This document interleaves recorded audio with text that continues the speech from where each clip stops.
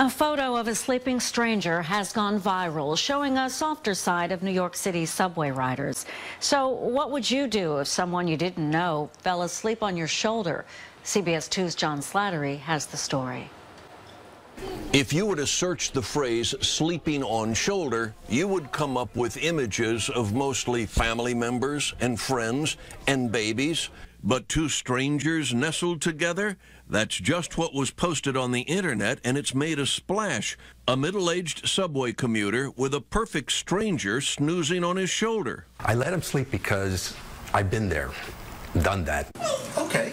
66 year old Isaac Thiel, after babysitting for a granddaughter, was on a Q train when he found the man next to him nodding off. The photo on a smartphone was taken by another passenger, Mike Braff. I was just so tickled that a uh, that a New Yorker would let another New Yorker sleep on his shoulder. Braff said at first he asked the older man if he wanted the sleeping subway rider moved off of him. The guy's exhausted. He's tired. He put in a full day. Let him sleep. Thiel says the man on his shoulder slept for about a half an hour. He was sort of a dead weight on my shoulder. I knew he was very, very tired. And what would be the point of waking him up? I was fine. I had a seat. It didn't bother me at all.